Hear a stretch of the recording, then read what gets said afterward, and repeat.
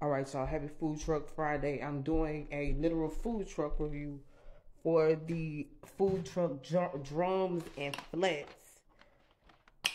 They pulled up on us at our apartment complex. So let's see, beach. I don't know, but it smells good. I'm trying to find out how to set this up somewhere for y'all. All right. So this what I got. Ooh. Yeah. Yeah, yeah, yeah. So drums versus flats. Let me let it cool down a little bit and I'll tell you how what I think about And this is an incredible experience and we're being so disrespectful towards the artist. Why? She'll fight until she wins. Accountability for anything. Would you be fighting with a woman who has cancer and is about to get cancer? No. No.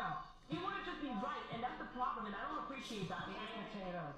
I think it's going to take forever. Lemon pepper. Okay. On your podcast. Okay. I am so garlic parm. Same. Have you talked to Crystal? How are you yeah. thing?